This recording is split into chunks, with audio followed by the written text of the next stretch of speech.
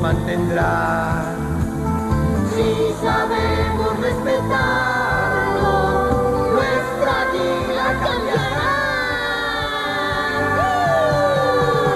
Los animales debemos amar y cuidarnos como el cielo y el mar. Nunca te olvides que amar es cuidar lo que tenemos.